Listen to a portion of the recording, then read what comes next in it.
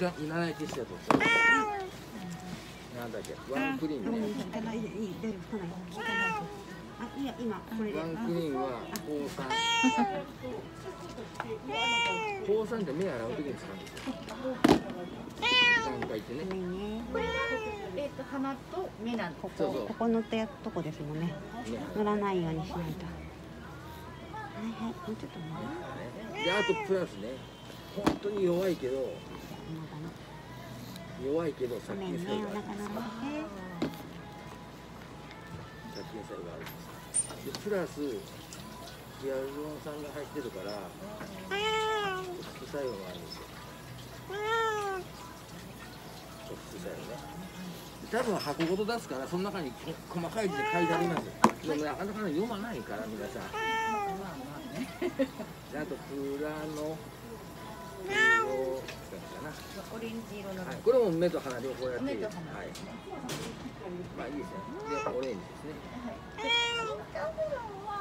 鼻と口でい。い。んですかね。インターフェラムも目と鼻目と鼻ですね。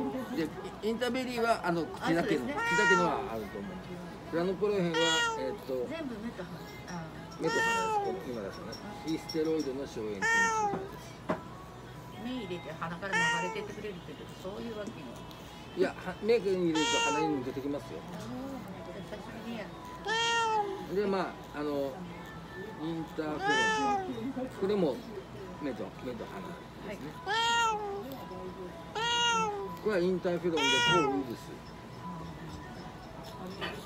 作用があるんですねでちょっとこれあの口に入れるやつねあれはインターベリーですね。でこれもインターフェロン製剤なんだけどこれは、まあ、抗ウイルスなんだけどプラスあの口の中の悪玉菌を弱らせる特にあの歯周ポケットのそうですね。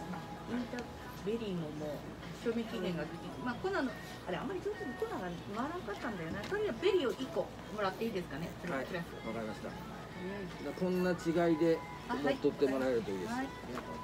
だからどどれもやったりやらなかったりしても別に体制はできるものはないですあ、そういうことですね。はいじゃあ頑張って最低でも。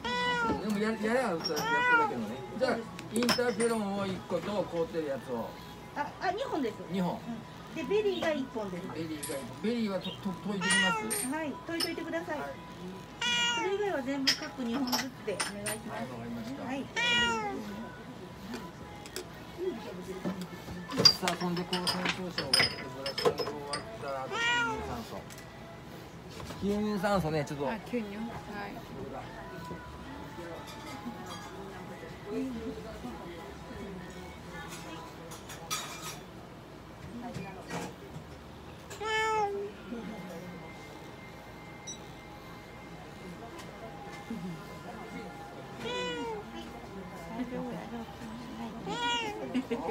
油断するとね。怖い怖い怖い怖い。はいじゃああと吸入酸素をね。たっぷりやらさせてもらいますんで、お願いします。いいよ止めて